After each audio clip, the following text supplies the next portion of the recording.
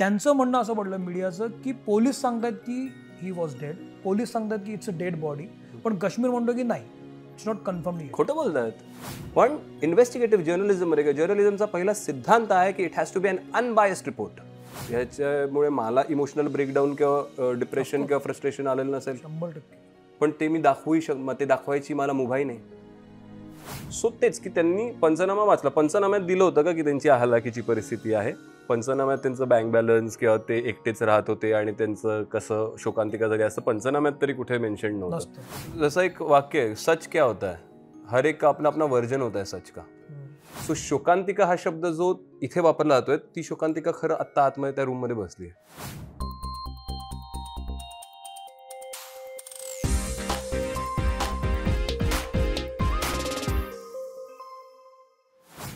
नमस्कार मी सौमित्र बोटे आज माझ्या या सोबत आहे कश्मीर महाजनी. कश्मीर तू मला इथं बोलवलंस तुझ्या घरी. त्याबद्दल मी तुझा आभारी आहे. नाही नाही तुझे पण खूप खूप आभार. ऑल द वे पुण्यावरून उठून तू मुंबईला आलास गप्पा मारायला. सरळ थेट मुद्द्यात हात घालतो. प्रत्येक गोष्टीला तीन बाजू असतात. नाण्याच्या तीन बाजू असतात असं मला वाटतं. एक बाजू अशी की जी आपल्याला दिसते. दुसरी बाजू अशी की ज्याच्यावरून आपण आपलं मत तयार करतो. आणि तिसरी बाजू अशी की जी खरी बाजू असते एक्झॅक्टली काय घडलं होतं. जनरली तिसऱ्या बाजूकडे आपलं लक्ष जात नाही. ती तिसरी बाजू आज तुझ्यासोबत मला बोलायची आहे. ती बाजू त्यानिमित्तानं लोकांसमोर येईल असे मला वाटतं. विषय सरळ सोट आहे. पंधरा तारखेला रवींद्र महाजनी गेल्याची बातमी आपल्याकडे आली. त्याच्यानंतर जे रिपोर्ट्स पेपरमध्ये आले आपल्या सगळ्यांना माहिती आहे. हा एक भाग. पण दरम्यानच्या काळामध्ये त्या बातम्या दुसऱ्या दिवशीची बातमी वाचल्यानंतर मी एक ट्विट केलं होतं. आणि जे मी ते कन्फ्युज करणार आहे ते ट्विट केल्यानंतर खूप दिवस झाले. ते ट्विट अजूनही आहे. ते ट्विट असं होतं की इतका देखणा कर्तबगार अशा नायकाची अशी अखेर नामंजूर अशा पद्धतीचं माझं ते ट्विट होतं. आणि ट्विट झाल्यानंतर काहीच घडलं नव्हतं. काही दिवस गेले आणि त्याच्यानंतर एके रात्री मला काश्मीरचा फोन आला. आणि यातलं काहीही खोटं नाही आहे काश्मीरचा मला फोन आला आणि त्याचं म्हणणं असं होतं की तू असं ट्विट का केलंस? त्याच्यानंतर आमची बरीच वादावादी झाली. तो फोन खूप वेळ चालला. आणि मी त्याला हेही सांगितलं की नामंजूर म्हणजे मला कोणावर दोषारोप करायचं नव्हते पण हे असं व्हायला नको होतं असं माझं मत होतं म्हणून मी ते ट्विट केलं. पण काश्मीरचा एक मुद्दा मला खूप पटला नंतर की त्याचं म्हणणं असं होतं मी तुझा मित्र होतो ना तर मग तू मला का नाही फोन केलास? हे मला खूप पटलं. आणि मला असं वाटलं काश्मीर मी तुला फोन करायला पाहिजे होतं. मुद्दा हा नाही आहे की तू किती जवळचा आहेस किंवा तू माझा मित्र आहेस किंवा वॉडेवर काही असेल पण ती माझी खूप साधी रिॲक्शन होती. पण त्या रिॲक्शनचा इतका बॅक असेल इतका त्रास कोणाला एखाद्याला होईल याची मला खरं कल्पना नव्हती जो तुला. त्रास झाला. आणि नंतर आपलं रात्री बोलणं झालं आणि त्यानंतर पूर्ण रात्र माझ्या डोक्यात ते होतं की मी तुला फोन करायला हवं होतं. आणि नंतर आपलं दुपारी पुन्हा बोलणं झालं. आणि तेव्हा माझं चुकलं मी काश्मीरला फोन करायला पाहिजे होतं. I am very sorry for that पण हेच मी तुला सांगतो त्यावेळेला की मला कुणावर दोषारोप करायचा नव्हता. किंवा मला तुलाही काही बोलायचं नव्हतं. मला काही माहीतच नव्हतं. त्या दिवशी सकाळी पेपरमध्ये जे मी वाचलं त्यामध्ये असं होतं की दोन दिवस घटना घडून गेली होती आणि कुणालाच कळलं नव्हतं आणि नंतर ते लक्षात आलं. पण असं व्हायला नको हवं होतं कारण त्यांचे रवींद्रजींचे सिनेमे पाहत पाहत मी मोठा झालो होतो. कोणाही बाबतीत असं होऊ नये म्हणून नियतीला ते म्हणणं होतं की हे म्हणणं नामंजूर. पण काश्मीरला ते हर्ट झालं.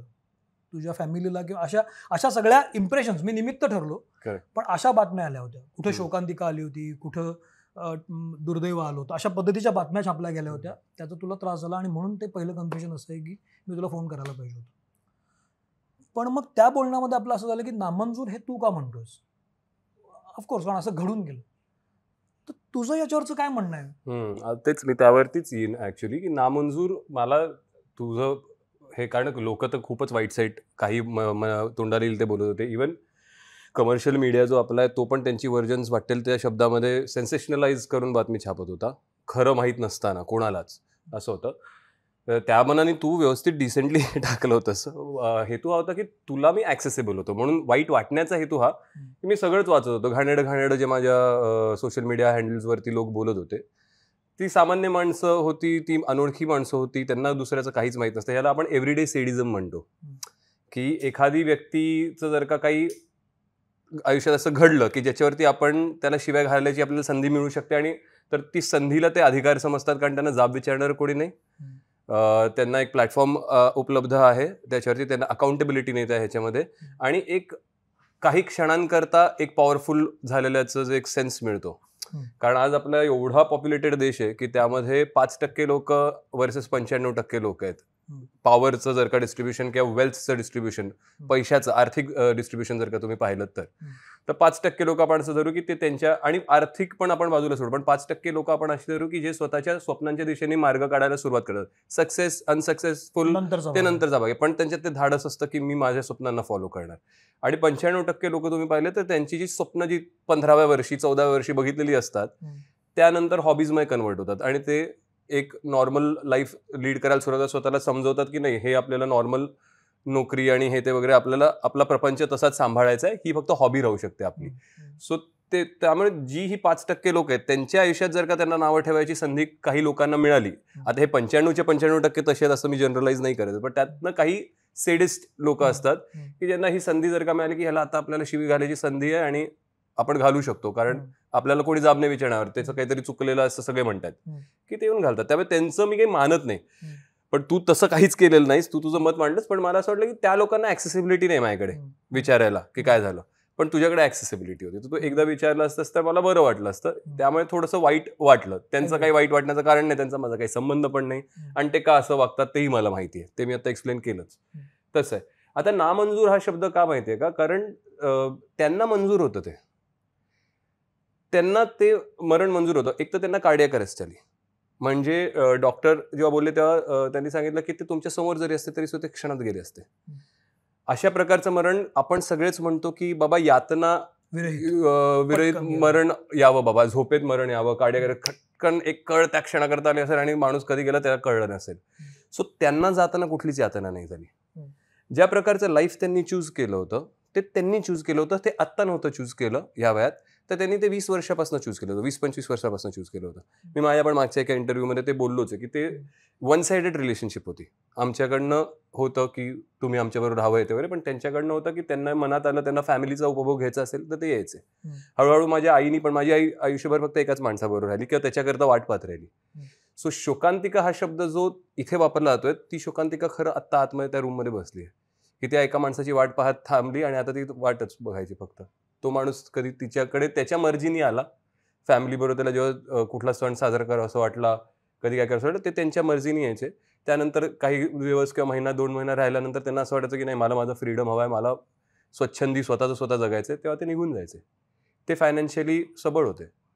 सो कुठलंही असे हाल अशा हालतीत काही झालं तर अशा हालतीत काही नाही झालं. कारण ते फायनान्शियली स्टेबल होते छानपैकी. मुंबईला त्यांचा एक फ्लॅट होता. तो त्यांच्या आणि माझ्या आईच्या नावात होता. पुण्याला जे घर आहे ते आईच्या नावात होतं. त्याच्यावरचं कर्ज आईनी आणि मी मिळून गेल्या वीस वर्षात म्हणजे ते तर. मी बऱ्याच ह्याच्यात हे केलेलं आहे फेडलं. त्यात काही लॉसेस झाले होते ज्यात त्यांची तसं बघायला गेलं तर त्यांनी काही मुद्दाम कोणी स्वतःवर लॉस ओढवून आणत नाही. सो लॉसेस होते आणि त्यांना ते फेडता येणार नव्हतं त्यामुळे ते आम्हीच फेडलं फायनली आणि इकडच्या घराचं जेव्हा त्यांना विकायचं होतं. तेव्हा आईने त्यांना काही हे करून. साईन करून दिली की बाबा तू एकटा राहतोस तुझ्या मनात असतं तुला फायनान्शियली कोणाकडे हात पसरायला नको. माझ्याकडे आम्ही क- कमवतोय हे करतो ते करतोय. तुझं उद्या काही इन्कम थांबलं म्हणलं तर त्या फ्लॅटचे पैसे तू तुझ्याकडे. ह्या तिने स्वतःहून सह्या करून दिल्या. आणि तरी वाट पाहत राहिली. आणि ते जेव्हा त्यांना वाटायचं स्वच्छंदी जगायचं तेव्हा ते एकटे जगायचे.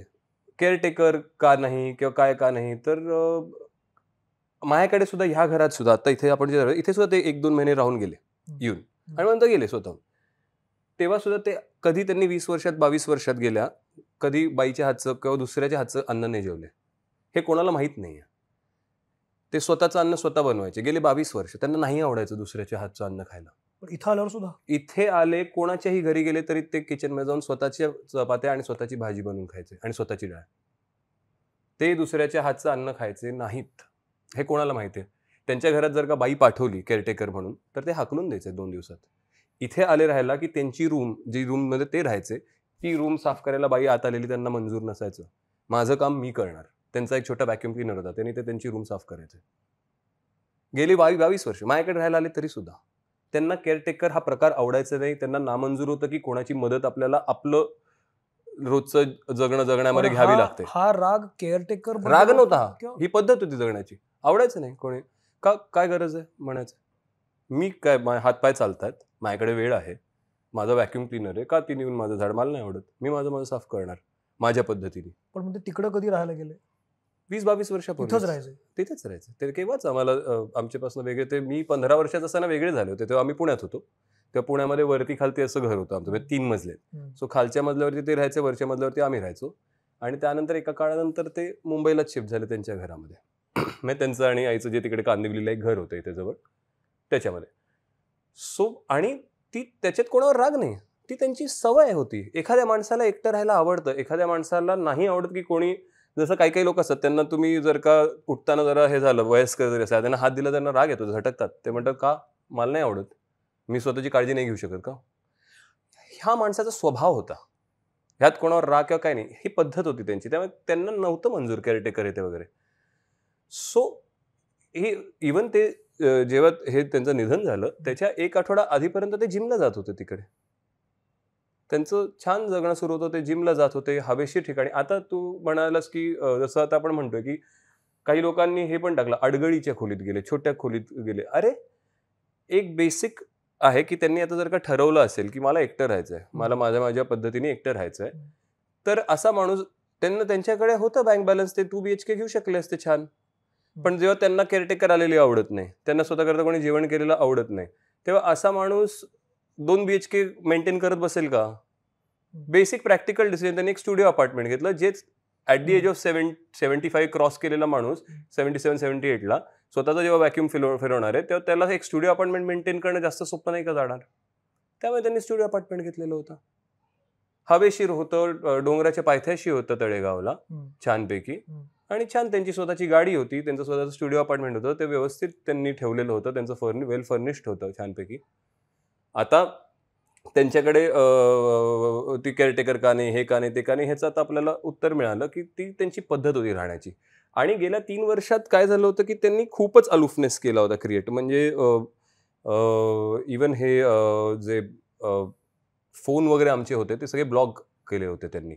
मग मध्यंतरी ते आमच्या घरातनं परत इथे थोडे दिवस राहिले आणि मग परत त्यांना एकटं राहायचं होतं म्हणून एकटे गेले राहायला. आणि मग त्यानंतर बऱ्याचदा म्हणलं की मुलगा झाला मला. तर मुलाचं फक्त त्यांनी चेहरा पाहिला होता जन्मता. पण त्यानंतर ते गेले निघून. आणि मग त्यानंतर ते परत आलेच नाही. सो मी फोन बिन करत होतो की या भेटायला की तुम्ही जिथे तिथे मी येतो आणि भेटवून देतो. कारण छोटे आता मोठा व्हायला लागलाय. सहा सात महिने झाल्यावर मला वाटलं की चला तुम्हाला माझ्याबरोबर नाही राहायचंय तुमच्या बायकोबरोबर नाही राहायचं कोणाबरोबर नाही राहायचं मला असं वाटलं की त्यांना पाहिल्यावरती तरी. त्यांचं जरा मन पिघळेल असं होईल. तर मी त्यांना फोटोज पाठवायचो त्याचे व्हिडिओज पाठवायचो मधनं की हे फोटोज व्हिडिओज पाहिल्यावरती तरी असं वाटेल. मी त्यांना म्हटलं की तुम्हाला आमच्या कोणाबरोबर नाही राहायचं असेल तरी ठीक आहे पण त्याला तुमचा सहवास लाभू दे. आणि तुम तुम्हाला पण त्याचा सहवास लाभला तुम्हालाही छान वाटेल ना. तू. आहे तर. तर एक दोनदा त्यांनी ते पाहिलेले होते आणि त्यानंतर तिसऱ्या चौथ्यांदा मी जेव्हा व्हिडिओ आणि फोटो टाकला तेव्हा त्यांनी ब्लॉक करून टाकला माझा फोन हे तीन साडेतीन वर्षापूर्वीची गोष्ट आहे. सो ते बहुतेक त्यांना आता मी ही त्यांची बाजू पण तुला समजवून सांगतो की ते कसे होते. ह्याच्यात काही ब्लेम गेम किंवा हे नाही, करते माझे. वडील होते फायनली. सो इतर कोणाला काय त्यांच्याबद्दल वाटतं त्याच्यापेक्षा जास्तच मला. त्यांच्याबद्दल वाटणार. सो त्यांची बाजू सांगतो त्यांना बहुतेक ते हळवे व्हायला लागले त्याचं पाहिल्यावरती आणि त्यांना ते नको होतं की बाबा परत ह्याच्यात आपण अडकू म्हणून त्यांनी माझा फोन ब्लॉक केलेला असणार आहे म्हणजे त्यांनी काही म्हणजे ह्याच्यात मी त्यांना काही असं की कसे होते बघा कठोर आणि काही निर्दयी आणि असं वगैरे काही नाही त्यांना उलट असं ते सारखं सारखं मेसेजेस वाचून त्यांना असं असेल की बापरे आता आपण इथे परत ओढले जाणार आणि आपलं परत एकटं राहायचं त्यामुळे ते नकोच ते दूरच राहिलेलं बरं. कारण उद्या आले नातू अशी अटॅच झाले तर नातू परत विचारणार काय हे ते वगैरे हे सगळं मी त्याच्या त्यांच्या डोक्यातले विचार सांगतोय काय असू शकतात हे मी फक्त अज्युम करू शकतो आता. त्याच्या पलीकडे मी नाही काही करू शकत. असा विचार ते करू शकत करू शकतात. म्हणजे- म्हणजे ज- मी त्यांना लहानपणी थोडंफार त्यांच्याबरोबर काढलं तेव्हा मला असा विचार ते करू शकतात की बाबा आता नको हे. मला जर का आता एकटंच राहायचंय मला जर का नकोय फॅमिली आणि हे ते वगैरे आता तर मग ते ब्लॉकच केलेलं बरं. ते सारखा हा फोटो पाठवणार सारखा. व्हिडिओ पाठवणार ते आपण बघणार. मग आपल्याला मनाला कसं तरी होणार. त्यामुळे त्यांनी माझा फोन ब्लॉक केला. आईनी फोन करायचा प्रयत्न केला की अरे काय? नातवाला तरी भेट वगैरे. तर ते तिचाही ब्लॉक केला. माझ्या बायकोचाही ब्लॉक केला. सो त्यानंतर आम्हाला एक अंदाजा आला की ही डझन वॉन्ट अशा वेळेस की he doesn't want a contact also आणि मग अशा वेळेस the only thing you can do is respect a person's opinion choice of living it's is choice of living त्यांची पद्धत आहे तो स्वभाव आहे. अठरा वीस वर्ष ते एकटे राहिलेत पण ते येऊन जाऊन होते. आता त्यांना जर का तोडायचं आहे तर तुम्ही काय करणार? तुम्ही माणसाला उच बरं ते धट्टे खट्टे आहेत त्यांच्याकडे फायनान्शियली स्टेबल आहेत एबल आहेत सगळं काही आहे. त्यांना उचलून तुम्ही इकडे आणून डांबून दोरी बांधून तर नाही ठेवू शकत. त्यांना त्यांच्या पद्धतीने जगायचा संपूर्ण अधिकार आहे. अगदी. तो तुम्हाला त्यांना द्यावा लागेल तो तुम्हाला रिस्पेक्ट करावा लागेल.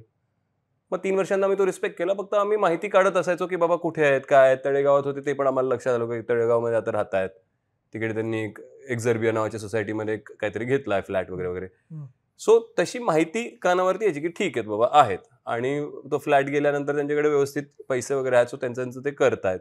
सिक्युरिटीचं काय तुम्ही म्हणाल तर ते कसे होते तुम्हाला माहिती आहे ना? ते उंच धिप्पाड रांगडा हे. मी आता आवाहन करतो सोशल मीडियावरती जे कोणी अरे म्हातारा बापाला सिक्युरिटी काय? वगैरे वगैरे. मी आता तुम्हाला सांगतो तुम्ही जर का गेला असाल ना काका मी तुम्हाला तुमची काळजी घेतो मला तर त्यांनी मुस्कटात ठेवून परत पाठवलं असतं की तू कोण माझी काळजी घेणारा? त्यांना काही गरज नव्हती सिक्युरिटीची he was a strong man त्यांचं तर तुम्ही कोण माझं रक्षण करणार आहे? ही पद्धत होती त्यांची राहायची. त्यांच्याकडे लायसन्स रिव्हॉल्वर होती स्वतःची. ज्याच्यात लाईव्ह राऊंड भरलेले असायचे. जी आम्हाला नंतर पोलिसांनी हँड ओव्हर केली ती आता मी सरेंडर करणार आहे त्यांचं डेथ सर्टिफिकेट हातात आलं की. So he was like that की मी ही वॉज अन मी माझी एक स्टोरी टाकली होती की let's let a star be a star. He thought तू तू कोण तू कोणतरी एक सडपातळ माणूस या- सांगणार या की मी तुमची मदत करतो आणि तुम्हाला सिक्युरिटी देतो वगैरे माझं कोणी आलं तर माझ्याकडे माझी बंदूक आहे माझ्याकडे माझे पैसे आहेत मी माझं माझं करतो मी स्वतःचा handsome at the age of seventy eight also ही भातारपण त्यांना मान्य नव्हतं. ही वॉज लाईक की मला सगळं जमतं. मला कोण which I am proud of मला त्याचं कौतुक आता तुला जे हसू येते कौतुकाने हसू येते की त्यांनी ठरवलं की मी Ravindra Mahajani man I am like the most handsome hero and strong hero macho hero of Marathi. Cinema आता कोणतरी तरुण पोरगा येणार आणि म्हणणार काका मी तुमची मदत करतो. तर काय ठेवून दिली असते खाटकन. मला जा घरी तुला सांगू का एक इतका काळ लोटल्यानंतर एक महिना. झाल्यानंतर आता आपण हसतोय दोन महिने झाले एक दीड महिना झाल्यानंतर. पण तीन वर्ष मग तुमचा कॉन्टॅक्ट कसा होता की नव्हता? पूर्ण थांबलो होतो. पूर्ण थांबलो होतो. फक्त आम्ही बाहेरनं माहिती काढत होतो कुठे आहेत काय आहेत वगैरे. काही काळ ते माझ्या बहिणीचं घर होतं ते तिकडे ते बहिणीच्या नवऱ्याला भाडं देऊन राहत होते. मग काही काळानंतर आय गेस त्यांना पुण्याला ते शिफ्ट झाले कारण त्यांना जरा हे मुंबईच्या धकाधकीत आणि इथे काही ना चांगली हवा ना चांगलं हे तर तिकडे ते जी सोसायटी लक्षात आली की ती डोंगराच्या पायथ्याशी अशी छान निसर्गात आहे तिकडे त्यांनी फ्लॅट मला तू सांगतोस ते मी समजू शकतो. पण मला आता एक असं वाटलं की कश्मीर रवींद्र महाजनी. हा हे जे नाव आहे ना. त्याचं बॅगेज तू खूप आधीपासून घेतलंयस. पंधराव्या वर्षापासून. आणि मग तू खूप कमी वयामध्ये अकॅडमी सुरू केली. स्वतःच्या पायावर उभारायला प्रयत्न केलास आईसोबत होती. आणि जे ॲज तू सांगितलंस त्याप्रमाणे खूप लवकर त्यांनी ठरवलं की आपण वेगळे होऊया. जेव्हा असा एक कर्ता पुरुष निर्णय घेतो तेव्हा त्याचं बॅगेज त्याच्या मुलावर आणि कुटुंबावर येतं. हे बॅगेज आधीपासूनच इतकं होतं का? बॅगेज म्हणजे काय? बॅगेज असं नाही हे बघ पर मी पंधरा वर्षाचा होतो अवघा माझी जस्ट दहावी झालेली होती. आणि त्यावेळेस कळलं की कर्ज आहे आणि ते निघून त्यांनी निघून जायचा निर्णय घेतला आणि त्यांनी सांगितलं की तुम्ही बघा आता कारण घर आईच्या नावावर होतं. सो आणि मग नंतर बँकेची लोक त्यांची ते रिकव्हरी डिपार्टमेंटची माणसं कशी असतात? आणि पंधरा वर्षी अगदीच भीती वाटते रे एकदम. आणि एकटी बाई. ते अचानक आठ दहा आठ दहा पुरुष आले हो. आणि एकदम घर सील करणार नोटीस लावणार. हो हो हो. आम्ही बँकेत जाऊन त्यांच्या हातापाया पडून सांगितलेलं आहे की बाबा नसले तरी सुद्धा आम्ही फेडू. जर का आम्ही येऊन शकतो तर ह्याच्यावर तुम्हाला आमची इंटेंट दिसते त्यामुळे सील कारण तुम्ही घर काढून घेतलं तर आम्ही जाणार कुठे? मग आम्ही तुमचं कर्जही नाही फेडू शकणार. मग त्यांनी आमच्याकडे लिखित घेतलं की दर महिन्याला पण म्हणलं पण मी तुम्हाला एक टाकी काही नाही देऊ शकणार एवढे पैसे. मला तुम्ही एक हफ्ता लावून द्या छान. आणि मी हळूहळू तुमचं फेडू. फेडायला सुरुवात करतो. आणि तेवढं त्यांनी मग ऐकलं अगदीच हे करून. आणि त्यावेळेस त्यांनी कोऑपरेट करायचं ठरवलं त्यामुळे मग ते सुरू झालं आणि तिकडनं म्हणजे इतपत आमचं होतं की रात्रीचं जाऊन आम्ही रस्त्यावर पोस्टर्स लावणं हे ते वगैरे मग मला पकडलं जर का पंधरा सोळा वर्षाचा तरुण पोरगा पोलीस पकडतील मग आमची एक घाणेडी म्हणजे? अगदी म्हणजे आता हे सगळे पोस्टर्स वगैरे आता माझ्या?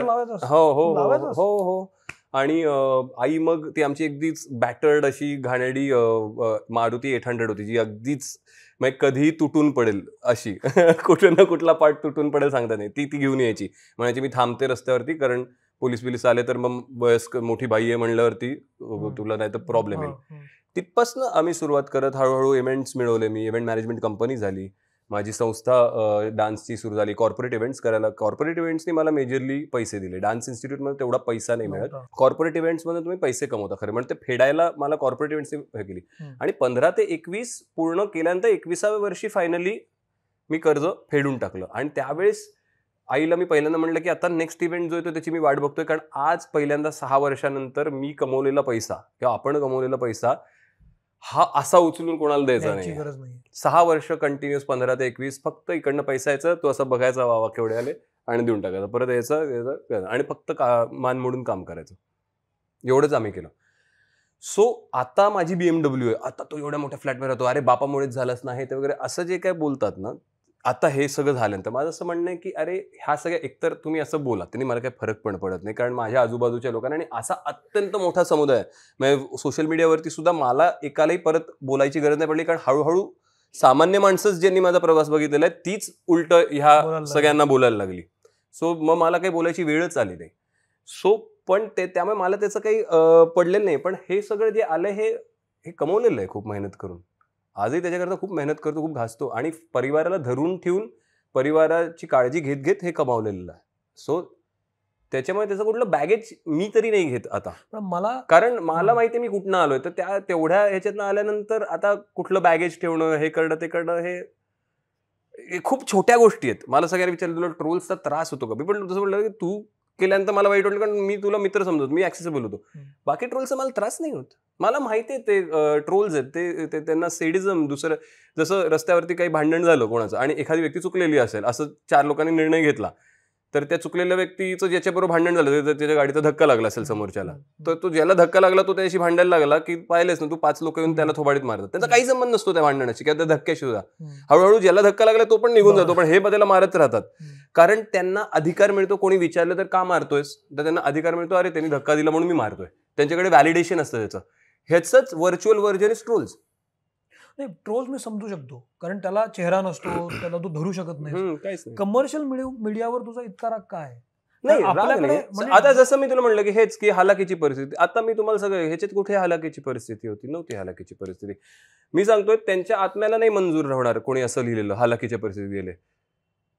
त्यांचा आत्मा कसा विसवत असेल की काय हलाखीची परिस्थिती त्यांना आवडायचं नाही असं कोणी बोललेलं माझी हालत. त्यामुळे मला I don't need anybody I Ravindra Mahajani who the hell you telling me की you should live like this will take care of you who the hell you I am bloody Ravindra Mahajani I will take care of my I am strong I I am self sufficient त्याला हालाकीच्या परिस्थितीत अडगळीच्या खोलीत वाचत होतं मला असं होतं की अरे पण या नॉट लाईक इट पण या सगळ्या इश्यू मध्ये जेव्हा ती शोकांतिका व्हॉट घडली या या सगळ्या घट- घटना ते. कळायला दोन दिवस लागले कारण त्यांनी अलुफनेस पत्करलं. एक संन्याशासारखं लाईफ ते लीड करायला लागले होते. ते कोणाशीच बोलायचे नाही शेजाऱ्या पाजाऱ्यांशी सुद्धा जर का त्यांनी काही संबंध ठेवले असते रोजच्या येण्या जाण्यातलं वगैरे वा वागणं ठेवलं असतं तर कदाचित कळलं असतं लवकर. सो ती एक कळ आली. त्या क्षणात त्यांचा. आत्ममुक्त झाला त्यातनं या आपल्या ह्याच्यातनं. आणि त्यानंतर कळायला दोन दिवस लागले कारण कोणाशीच संबंध ठेवला नव्हता. मित्र त्यांचे जुने फोन करून म्हणायचे अरे रव्या भेटत नाही बोलत नाही लहानपणापासूनचे जुने तरुण तरुण स्ट्रगल काळापासूनचे मित्र. घट्ट एकदम चड्डी बड्डी ज्याला आपण म्हणतो. म्हणायचो की नाही ते आमच्याबरोबर पण नाही कॉन्टॅक्ट ठेवत त्यांना नाही ठेवायचा आहे कोणाशी कॉन्टॅक्ट तर अशा वेळेस तुम्ही सोडा त्यांना पण या सगळ्या झोनमध्ये ज्या मराठी मीडियाला मी ओळखतो की मला जितपत माहिती आहे. तुला पण मीडिया माहिती आहे कारण तुझे आजोबा. संपादक होते हरा महाजनी आणि हो. तुला ते माहिती आहे की कशा पद्धतीने. साधारण पत्रकारिता होते. मराठीमध्ये आज सुद्धा म्हणजे मी मेनस्ट्रीममध्ये मध्ये जरी नसलो तरी मला माहिती आहे की एखादी जर काही अशी घटना कळली कोणीतरी गेल्याचं कळल्यानंतर आपण निदान दोन तीन गोष्टी कन्फर्म करतो एक. आपण डॉक्टरांकडनं कन्फर्म करतो दुसरं. आपण त्यांच्या फॅमिलीला विचारतो की खरं घडलंय का अं, नाहीतर पोलीस जर रिपोर्ट आणि family is somebody who is in the same line तो मीडिया मला ऍक्सेसिबल आहे परत मी तेच म्हणतो की त्या त्यांना मी ऍक्सेसिबलच नसतो. मी कुठे परदेशात राहणारा आय टी सेक्टरमध्ये काम करणारा मुलगा असतो. तर मग त्यांनी स्वतःचं वर्जन ही झालं. ही घटना घडल्यानंतर जेव्हा. पोलिसांनी त्याचा त्यांना कळलं पोलिसांना कळलं की असं काहीतरी घडलंय. त्यांना. माहीत नव्हतं ही व्यक्ती कोण आहे. पण जेव्हा हळूहळू कळायला लागलं तेव्हा मीडियाला जेव्हा रिपोर्ट कळला तेव्हा मीडियाने तुला संपर्क साधला नाही? फर्स्ट हँड रिपोर्ट मिळायच्या आधी मला एक दोन मीडियातल्या लोकांनी कॉन्टॅक्ट केलं होतं जेव्हा मी मुंबईवरनं पुण्याला चाललो होतो. कशासाठी? हे मला बातमी जेव्हा आली तेव्हा. की दार उघडत नाहीत बाबा आणि हे. तर मी म्हणलं की दार तर तिकडनं मला आधी काही सांगितलं नाही. त्यांनी खरं काही सांगितलं नाही. तर नाही त्या घर मालकांनी. सो कदाचित त्यांना ते असेल की टेन्शन येईल काय येईल उगाच त्याला आधी येऊ दे इकडे असं. सो मी म्हटलं अरे दार उघडत नाही म्हणजे त्यांना कधी कधी बराच वेळ झोप लागते. आमच्याकडे राहत राहत होते कधी कधी तेव्हा असं ते असे गाढ आहे त्यांची झोप प्रचंड. तुम्ही हाईडला कोणी येऊन जो आदळापट केली तरी त्यांना जाग येणार नाही. इतकी गाढ झोप होती काय म्हटलं मग दार उघडत नाही तुम्ही एवढं पॅनिक होऊन फोन का करताय? म्हटलं नाही नाही जरा ते आजूबाजूचे लोक बोलतायत दार उघडत नाहीत वगैरे. म्हटलं बरं ठीक आहे मी काम करतो मी मुंबईत आहे म्हणलं मला तिथे पोचायला नाही म्हणलं तरी वेळ लागणार तर मी आधी तिकडे माझे दोन मित्र आहेत श्रीकर पित्रे आणि अक्षय साळुंके म्हणून माझे मित्र आहेत. आणि अक्षय तो माझं सगळं डान्स इन्स्टिट्यूटवर त्याचं सगळं बघतो. त्या दोघांना मी फोन केला आणि म्हणलं तुम्ही पुण्यात तुम्ही पटकन जा तुम्ही तिकडे एक अर्ध्या पाऊण तासात पोचाल. काय आहे ते बघा दार उघडत का नाहीत काय नाही काही जर का आजारी असतील थोडं बरं वगैरे नसेल तर इमिजिएटली ॲम्ब्युलन्स बोलून हे करा. मी इकडनं निघालोच आहे. मी मुंबईवरून निघालोय. आणि अं, मुंबईवरनं निघता निघता मला गाडीत बसून बाहेर पडलो आणि मला शिरकरचा फोन आला तोपर्यंत तिकडे बघ अरे पोलीस वगैरे आले आहेत आणि ते कोणी फॅमिली मेंबर असल्याशिवाय उघडत नाही पण आतनं वास येतोय. देर अ स्मेल. सो आम्ही काय करू तर मी म्हणलं पोलिसांना बोललो की हे भाऊच आहेत माझे दोन अगदी जवळचे आणि अत्यंत भरोशाची माणसं आहेत. त्यामुळे तुम्ही प्लीज दार उघडा त्याकडे डिले करू नका मला पोचायला ट्रॅफिकमधनं चार साडेचार तास किमान दाखवतंय मॅपवरती.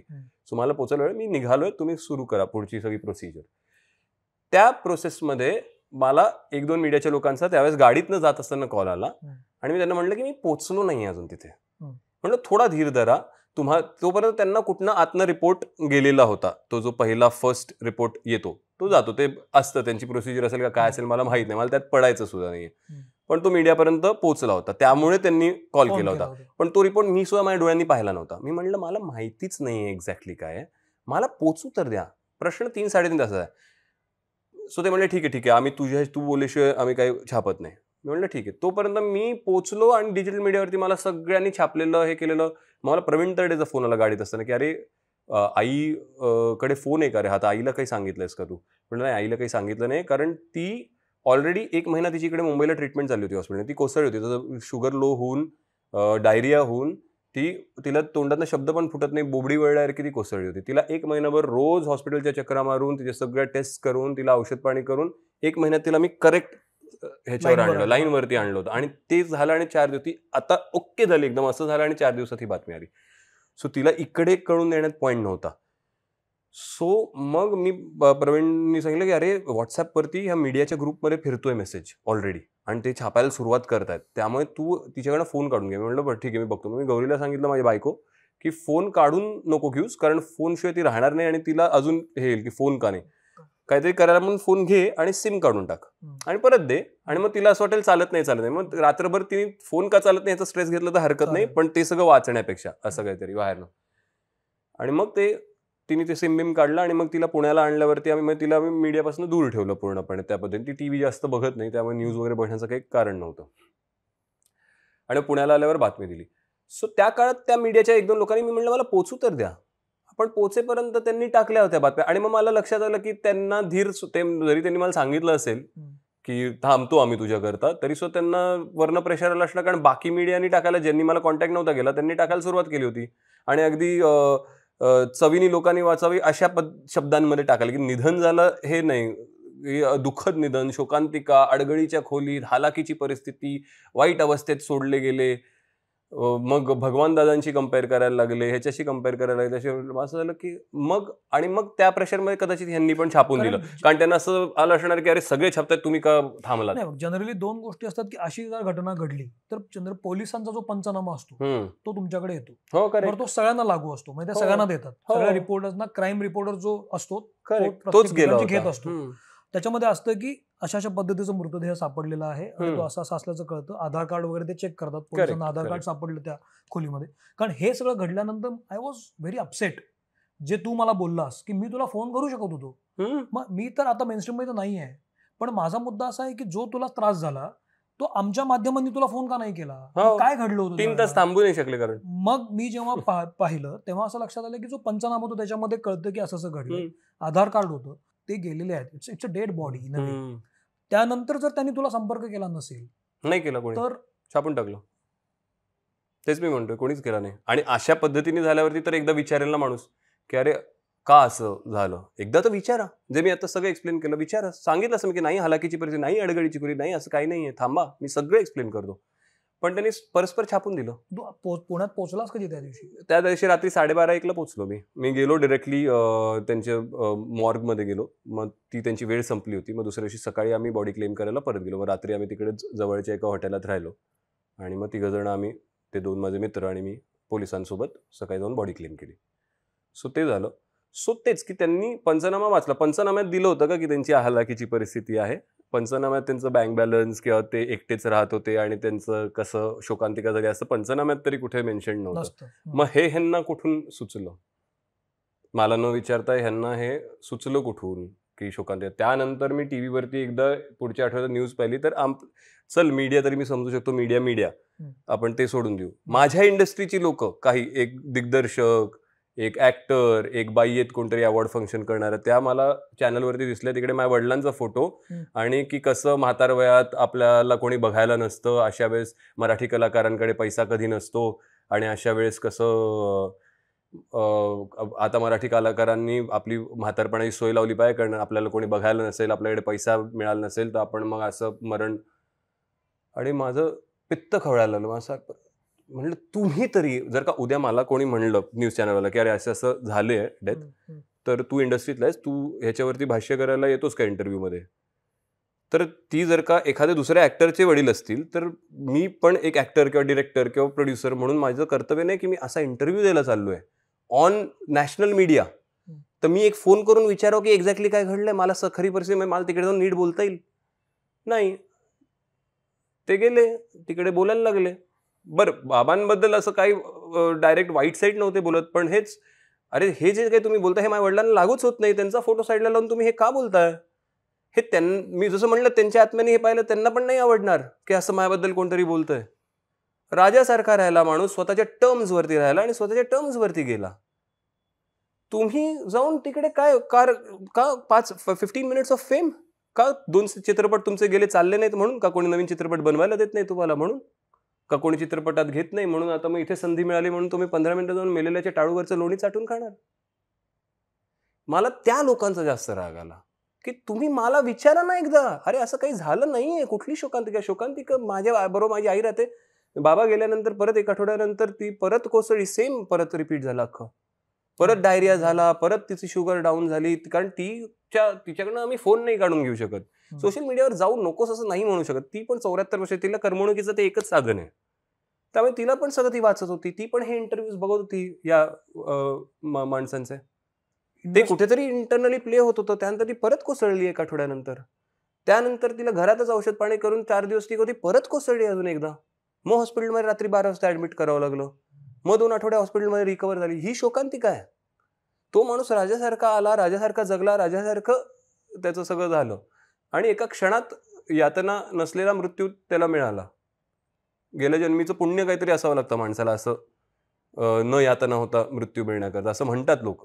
पण या इंडस्ट्री बद्दल तुझ्या राग म्हणतोस ना. हा माझा राग नाहीये. हे तीन चार लोक पण. मला आश्चर्य वाटलं की ह्यांना काय माहिती आहे? तसेच इंडस्ट्रीमधले चांगले पण कित्येक आहेत.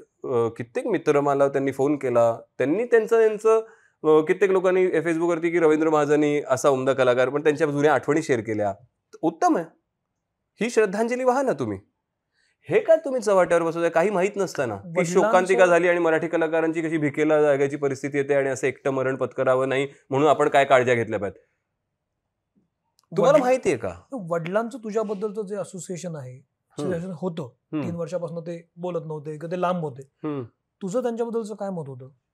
खरं सांग वडिलांबरोबर मला सुरुवातीचा काळ एक अगदी पंधरा वर्षाचा चौदा वर्षाचा हे बघ एक तर लहानपणापासून ना सहा वर्षाचा असल्यापासूनच घरात प्रॉब्लेम्स होते ते जे वेगळे झाले ते पंधराव्या वर्षी चौदा वर्षी वगैरे झाले कम्प्लिटली तोडून पण त्याच्या आधी घरात देरवर डोमेस्टिक इश्यूज जे वाढत वाढत हळूहळू चौदा पंधरा वर्षाचं Correct. मी झालो तेव्हापर्यंत Yes. ते पार्टिंग झालं विच इज ओके ते लहानपणापासूनच जे काही बघितलं गेलंय जे काही अनुभवलंय ते मला नाही मांडता येणार. ते मला मांडायची इच्छा नाही कारण तो माणूस गेला आता तो. गेल्यानंतर त्याच्या पाठीमागे हे मांडणं. आणि आणि जसं परत म्हणलं let's let star be star त्यांची जी ती अशी. प्रतिमा आहे ना ती. कारण प्रत्येक माणसाची एक काळी बाजू असते व्यक्तीची. आणि ती ती नसते दाखवायची. आहे ती ठीक नकोच आहे. आहे कारण ती So, व्यक्तीचा ते का हा. पण तुझं त्यांच्याबद्दलचं काय सो? एक चौदा पंधरा वर्षाचा असताना मला एक बिटरनेस होता त्यांच्याबद्दल. जेव्हा ते सोडून गेले तेव्हा. एक बिटरनेस बराच काळ होता. दहा वर्ष बारा वर्ष माझ्या आयुष्याची माझ्या मनात एक बिटरनेस होता. की एक सेन्स ऑफ बिट्रियल होता. की तुम्ही काही करू शकत नव्हता किंवा तेव्हा तुम्हाला लॉस झाला किंवा असं काही झालं तरी सुद्धा एक असणं जे असतं तुम्ही असायला हवं होतं. तुम्ही जायला नको होतं. हा स्ट्रगल मी केला असता पूर्ण. पण घरी आल्यावरती आहात तुम्ही. हे जे एक फिलिंग आहे फिलिंग एक आधार असतो माणसाचा. नुसतं असण्याचा पण एक आधार असतो. तुम्ही काही करायची गरज नाहीये. हे सगळं मी सांभाळतो. ते असणं नव्हतं त्याचा एक मुलगा म्हणून एक बिटरनेस खूप काळ होता. पंधरापासून एक साधारणतः पकड आत्ता आत्तापर्यंत तीस वर्षाचा होईपर्यंत पंधरा असणारच आणि तो. म्हणजे मला नाही वाटत त्यात काही असं वावगसं आहे. की ज्या ह्याच्यातनं गेलो प्रवासानं त्यातनं असं बिटरनेस वाटायचा. पण भेटायचो. अरे आणि मग नंतर आम्ही ते ऍक्सेप्ट केलं. मग नंतर थोडं ऍक्सेप्टन्स झाला की नाही पण ते आता तसेच राहतात पण शेवटी आपले वडील आहेत. पण तुमच्या दोघांमध्ये असं कधी बोलणं झालं नाही? मी पंधरा सोळा वर्षाचं असताना झालं. त्यानंतर मी ते तीस तीस तीस झालं ना कारण तुम्ही सिनेमात काम करत होता. हो, तुम्ही एका हो, सिनेमात हो. काम केलं होतं. ऍक्सेप्ट केलं होतं ना. आता ते झालं गेलं. आता जर का त्या माणसाला कधीतरी वाटतं आपल्या बरोबर तुला- राहावं तर मग तेवढा वेळ बापाचा सहवास लाभतो. तो मिळतो. आईला तेवढ्या वेळाकरता नवऱ्याचा सहवास लाभतो. ही वॉज अ स्टार मी काय तर मग- कुठल्याही ऍक्टरचं Personal काय आहे की तुला त्या भूमिकेत जाता येतं? उद्या तुला. म्हणलं सौमित्राच्या पोटेची भूमिका कर सिनेमात. तर तुला त्या भूमिकेत जायचा चान्स मिळतो. मिळतो. तुम्ही दोघं जर बोलला असतात तर तुझ्या भूमिकेत ते जाऊ शकले असते. तुझ्या नाही बोललो होतो आम्ही. आमचं बोलणं झालं होतं त्याबद्दल एकदा दोनदा पण काय प्रॉब्लेम होता? नाही नाही बोलणं झालं होतं. प्रॉब्लेम असं म्हणजे काय का असं होत होतं? का असं होतं त्यांचा चॉईस होता. त्यांची ती राहण्याची पद्धत होती आणि त्यांचं एक काय तुला सांगू माहितीये का? की बाबांना सुखी राहण्याकरता खूप सोपं सुद्धा काय होतं माहितीये का? की ते कुठली गोष्ट अशी मनात धरून हे नाही करायचे. म्हणजे जे आता मी तो बिटरनेस घेऊन जगलो. त्यांनी त्यांचं त्यांचं प्रत्येकजण आपापलं एक कन्व्हिनियंट विश्व बनवतं. एक फॅन्टसी वर्ल्ड असतं की जसं एक वाक्य आहे सच क्या होता है? हर एक का अपना अपना वर्जन होता है सच का. There is nothing called truth प्रत्येकाचं आपलं आपलं जगणं सोपं करण्याकरता आपल्याला रात्री झोप लागण्याकरता प्रत्येकाचं आपलं एक वर्जन बनतं खऱ्याचं. काय? आपल्या सोयीनुसार. आपल्या सोयीनुसार की ज्यांनी आपलं कॉन्शियन्स आपल्याला कॉन्शियन्स आपलं खाणार नाही आपल्याला. आपलं अंतर्मन आपल्याला खाणार नाही आपण शांततेत राहू शकतो. आणि ते बाबांना खूप इझिली जमायचं. त्यामुळे त्यांना सुखी राहणं फार सोपं होतं. जे माझ्या आईला नाही जमत जे मला नाही जमत मला ते खदखदत राहतं आतमध्ये. आणि असं होतं की नाही हे चूक आहे हे चूक आहे नाही हे असं नसलं पाहिजे हे दुरुस्त केलं पाहिजे. त्यांचं तसं नाही हे झालं गेलं सोडून द्या आता पुढचं काय? बाबा नीट राहूया. हां ते त्यामुळे झालं. ते त्याचा माझा काही संबंध नाही. ते तुम्ही तुमचं बघा. ते माझं ते हे नाही. मी बाबा जेवढं करायचं तेवढं केलं. मी असं हे केलं. बस सोडून दिलं. आणि आता मी माझ्या मार्गी आता मी माझं माझं जगतोय ना तुम्ही आता मला उगाच येऊन त्रास देऊ नका. मला ते विषय नको मला ते हे नको. हे ही? पद्धत होती जगण्याची सा- साधारण. So मग एक दोनदा तो विषय काढल्यानंतर असं झालं की साधारणतः असंच की एक अठ्ठावीस पंचवीस कधी बत्तीस अशा वयाच्या ह्याच्यामध्ये काढलेले आहेत ते आदनमधनं विषय. पण त्यानंतर असं झालं की जाऊ दे ना आता तो माणूस येतोच कधीतरी भेटायला. त्याचा सहवास महिना दोन महिना लावेल आपल्याला. त्यानंतर तो त्याच्या मनात आला की जातो. मग माझी मूवी रिलीज जेव्हा झाली होती तेव्हा थोडा जास्त काळ ते राहिले. कारण त्यांना ते मुलाची मूवी रिलीज झाली तो हे होता. आणि मलाही बरं वाटत होतं की कधीच न सोबत असणारा वडील हम्म. जर का या काळात आहेत तर आपल्यालाही बरं वाटतं त्याचं. सो तर एक काइंड ऑफ तो पार्ट स्विच ऑफ करून टाकलेला होता. की तिक तो तिकडे हातच नको घालायला त्या जुन्या गोष्टींमध्ये. आत्ता येत आहेत ना आत्ता छान जर का राहता येत असेल हे दोन महिने जर का आईला आनंद मिळणार आहे मला आनंद मिळणार आहे बहिणीला माझ्या आनंद मिळणार आहे की बाबा आहेत. आणि त्यांनाही आनंद मिळतोय ते करायचं त्यांची आता इच्छा आहे ते करायची. तर ह्या याच्यात उगाच खाजवून खरूज कशाला काढायची? की पूर्वी तुम्ही असं का केलं? तुम्ही असे का वागलं? नाही ना सोड ना तो माणूस तसा नाहीच आहे. त्यांचा तो ट्रि ट्रिगर पॉईंट ते स्विच ऑन स्विच ऑफ खूप छान करू शकायचे. त्यांची तशीच पद्धती लहानपणापासून तुम्ही त्यांच्या बहिणीला विचार. त्यांची मोठी बहीण अजूनही माझी आत्या पुण्यामध्ये राहते. कमलिनी फडके म्हणून. न- त्या लेखिका आहेत स्वतः. आता नाही आहेत ऑब्व्हियसली तेव्हा लिहायच्या. त्यांनी ऐंशी ओलांडी आता. सो तिला विचारा. रवी हा कायम तसाच होता. इट वॉज लाईक की काल रात्रीचा आज जसं तुला मी बोलणं झालं तर रात्रभर तू त्याच्यावर विचार केला. मा तुझ्या जागी जर का सौमित्रपटच्या भूमिकेत रवींद्र महाजन असते तर रात्री त्यांनी काय जे बोललं बोललं असं फोन बंद केला असं समोरचा दहा दिवस विचार करत बसला तर ते दुसऱ्या दिवशी असणं मस्तपैकी एन्जॉय सतत मॉर्निंग वॉक घ्या जिम करा विसरून नाही गेले असते असं काय बोलणं झालंय वगैरे. त्यांनी कट ऑफ करून टाकलं असतं. नाही. पण या सगळ्या सिनारिओमध्ये काश्मीर जेव्हा ही घटना घडल्यानंतर ज्या मीडियाने तुला फोन केला त्यांना तू थांबवण्याचा केला. थांबा मी पोचतोय थांबा कारण पोचलोच. नव्हतो. दिस बघितलंच नाही मी माझ्या वडिलांना काय परिस्थिती आहे काय आहे. मला फक्त ऐकिवाद गोष्टी आहेत. ऐकिवाद गोष्टीवरती मी कुठलं कन्फर्मेशन कसं देऊ? मला जाऊन बघू तर दे वडिलांना. काय झालंय काय बघू दे मला? सांगतायत लोक काही लोक अर्धवट सांगतायत तिकडची. मग मीडिया पण तुझ्यावर चिडू शकतो ना? की तू तुला जे घटना पोलिसांना कळलं दुपारी एक दोन वाजता त्यांनी तुला इन्फॉर्म केलं चार पाच वाजता तुला पोचायला तीन साडेतीन का झाले? मीडिया सगळा थांबला असेल ना तुझ्यासाठी की तू येशील रिॲक्ट होशील काहीतरी मला. चार साडेचारला कळवलं मीडिया पोलिसांनी. आणि त्यानंतर मला बारा साडेबारा वाजले पोचायला. त्यात पाच सहा तास लागला? हो मुंबईत ट्रॅफिकमध्ये हा एक बेसिक आहे. तू संध्याकाळी कधी ट्रॅफिकमध्ये अडकलास जर का तर अडकत अडकत दोन अडीच तास कसेही जातात बाहेर पडायला कधी कधी मुंबईतनं. मी साधारणतः साडेचारला आमचं पहिलं कम्युनिकेशन झालं. त्यानंतर पावणे पाच पाचच्या सुमारास माझं माझ्या दोन मित्रांशी कम्युनिकेशन झालं. तेव्हापर्यंत मला एवढंच सांगितलं होतं की दार उघडत नाही आहेत हे नव्हतं सांगितलं त्यांचं निधन झालं की माझे मित्र जेव्हा तिकडे पोहोचले तेव्हा त्यांनी मला सांगितलं की कश्मीर वास येतोय आणि पोलीस पोलीस आलेत हेही मला माहिती नव्हतं. मला घरमालकाने सांगितलं की दार उघडत नाही तर तुम्ही जरा एकदा फोन लावून बघता का? तर फोन लावला तर फोन त्यांचा स्विच ऑफ येत होता. मग त्यानंतर ते म्हणाले मग तर दार उघडून. मी म्हटलं झोप लागली असेल. एक दोन तास वाट बघूया. ते म्हणाले नाही नाही ते शेजारची खूप कंप्लेंट करतात. मला कळेच ना की का एक माणूस दार उघडत नाही तुम्ही एवढी का कंप्लेंट करताय? झोप लागली असेल माणसाला दोन तीन तास थांबा तर. हे असं स्मेल आहे आणि हे हे चित्र मला कोणी. आहे. जेव्हा मी मीडियाशी बोललो वेगवेगळ्या पत्रकारांशी बोललो की असं का? तुम्ही फोन करू शकत होता काश्मीरला. कारण काश्मीर मराठी इंडस्ट्रीमध्ये कोणालाही रिचेबल आहे. फक्त सौमित्राला असं नाही.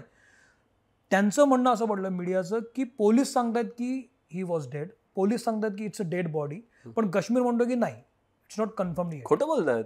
इट्स नॉट कन्फर्म मला कन्फर्म नव्हतं ना झालं. असं असू शकतं ना. पोलिसांनी मला नव्हतं सांगितलं इट्स डेड बॉडी मला तिकडे पोचला माझा मित्र तेव्हा मला साडेपाच सहाच्या सुमारास मला कन्फर्म केलं गेलं की स्मेल येतो यातनं तेव्हा मी स्वतःच्या मनाशी मानलं की okay he I think is no more पण तरीसुद्धा इट्स अ डेड बॉडी हे मला प्रवासात कुठेतरी सांगितलं गेलं की अरे असं असं आहे आणि हे आहे. त्यांचं निधन झालं म्हणजे हिज हिज नो मोर हे मला प्रवासात सांगितलं. त्यावेळी त्यानंतर मला प्रवीण तडेचा फोन आला. मी म्हणलं मग आईचा मी सिम कार्ड काढून घेतलं वगैरे. आणि त्यावेळेस सुद्धा एक सभ्य माणूस काय करेल अशा जर का सांगितलं हो ते गेलेत आणि असं असं झालं असं मी फोनवरती अरे मला मी माझ्या वडिलांना बघू तर एकदा. म्हणलं काही मी आत्ता तुम्हाला कन्फर्म नाही करत आहे. तुम्ही काही आत्ता छापू नका. तीन तास माय करता. तीन चार तास अजून माय करता थांबा. एवढं तुम्ही थांबला. तुम्हाला दुपारी कदाचित आली असेल माहिती जी माझ्यापर्यंत आली नव्हती.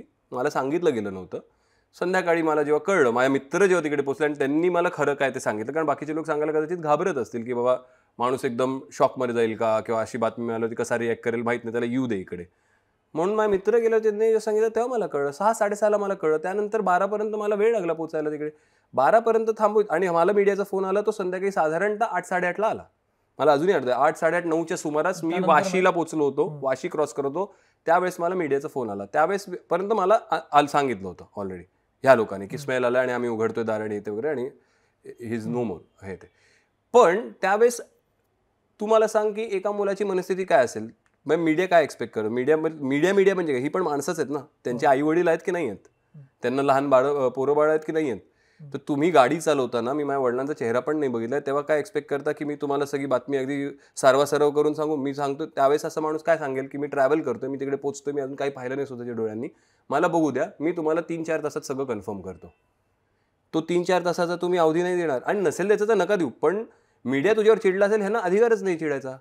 क- तुला असं वाटत असेल की त्यांना चिडायचा अधिकार आहे हे जे मी सांगतो त्यानंतर तर बरं ठीक आहे मग मी काहीच करू शकत नाही त्यावरती. मग चिडत बसा. पण तीन चार तास एक माणूस नाही मागू शकत की मला आत्ता बातमी कळलेली आहे पण मी आता तुम्हाला काही कन्फर्म करत नाही कारण मी पोचलो नाही स्वतः तिकडे. मला प्रत्यक्ष डोळ्यांनी सगळं बघू दे आणि मी सगळं तुम्हाला नीट सांगेन. काय घडलंय कसं घडलंय काय झालं माध्यम तुझ्याशी पण तोपर्यंत तुम्ही जर का असं छापलं की त्यांचं निधन झालं ते एका तळेगावच्या एका घरामध्ये त्यांचं निधन झालं जिकडे ते भाड्याने राहत होते इतपत बातमी छापली असेल तर मला त्याच्यावरती काहीच हे नव्हतं. त्याचं जे चवीने सेन्सेशनलायझेशन केलं गेलं हालाकीच्या परिस्थितीत अडगळीच्या खोलीत शोकांतिका झाली ह्या शब्दांवरती मला आक्षेप आहे. ते तुम्ही विचारायच्या आधी का छापलेत? तुम्ही report I can not stop anybody त्यांनी दुपारी रिपोर्ट केलं असतं की रवींद्र महाजनचं निधन झालं तरी सुद्धा मला त्यांच्यावरती काही राग कारण तो ते त्यांचं काम आहे. रिपोर्टिंग इज दर जॉब पण इन्व्हेस्टिगेटिव्ह जर्नलिझममध्ये जर्नलिझमचा पहिला सिद्धांत आहे की it has to be un unbiased report तुम्ही तुमचे बायसेस टाकून सेन्सेशनलाइज नाही करू शकत. जोपर्यंत तुम्ही तुमचं इन्व्हेस्टिगेशन पूर्ण नाही झालं. सो मग शोकांतिका हलाखीची परिस्थिती वाईट निधन झालं असं निधन झालं तसं हे नका द्या ॲडजेक्टिव्ह का लावताय?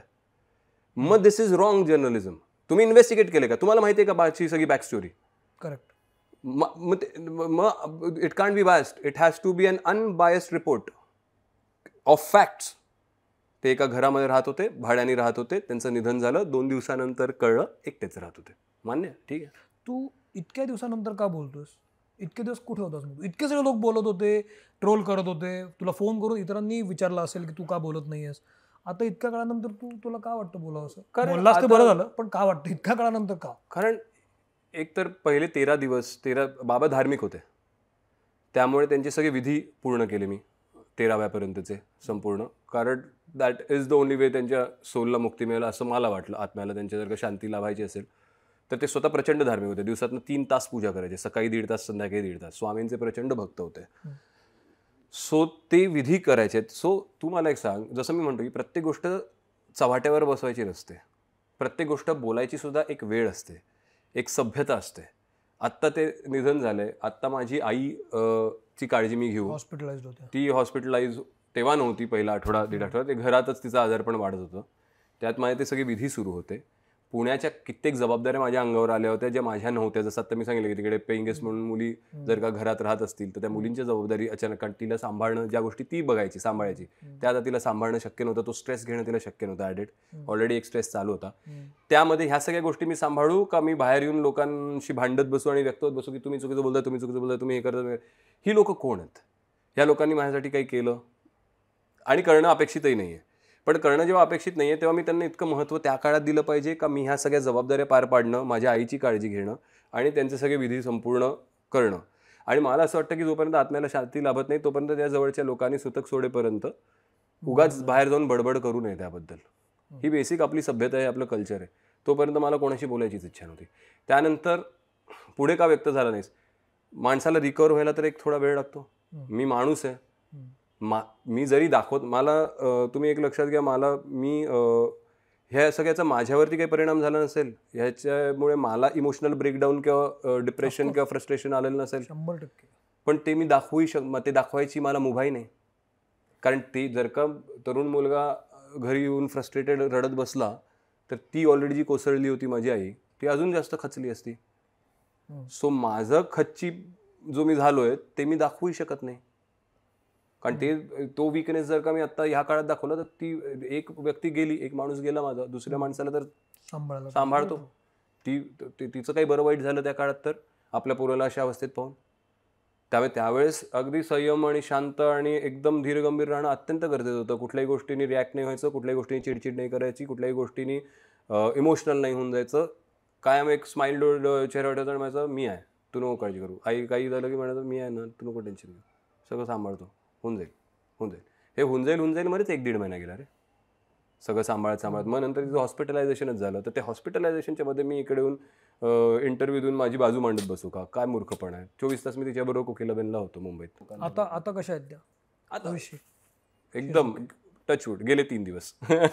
अगदी ओके? आणि तिचं आणि माझ्या छोटूचं अगदी व्योम माझं चार वर्षात अगदी अगदी अगदी. अरे बापरे बापरे. खूप प्रेम.